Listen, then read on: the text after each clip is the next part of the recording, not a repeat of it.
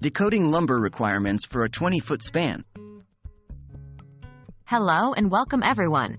Today, we're going to tackle an interesting question about building codes and regulations related to the construction industry.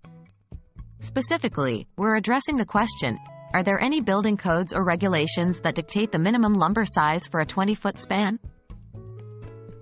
Understanding building codes and regulations.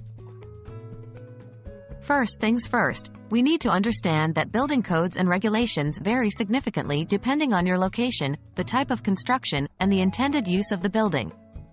These codes are established to ensure safety, durability, and efficiency in construction.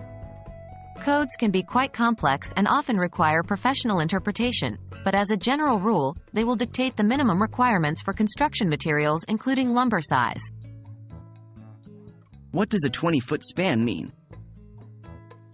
When we talk about a 20-foot span, we're talking about the distance that a piece of lumber needs to cover without support.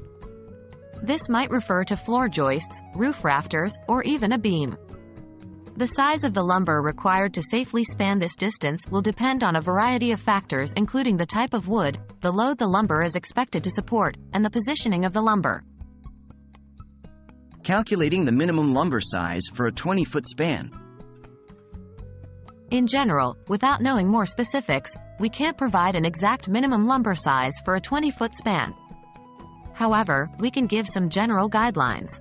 For example, if we're talking about a floor joist in a residential building, made from number 2 Douglas fir or southern pine, two common types of wood used for joists, the 2018 International Residential Code, IRC, suggests that a 2 by 10 joist would be sufficient for a 20-foot span, provided it is spaced no more than 16 inches apart.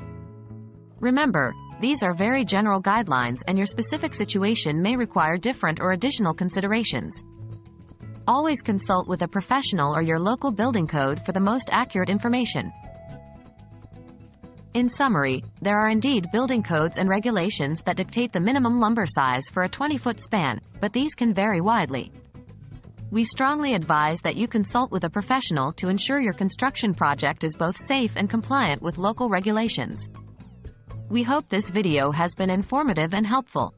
Stay safe and happy building!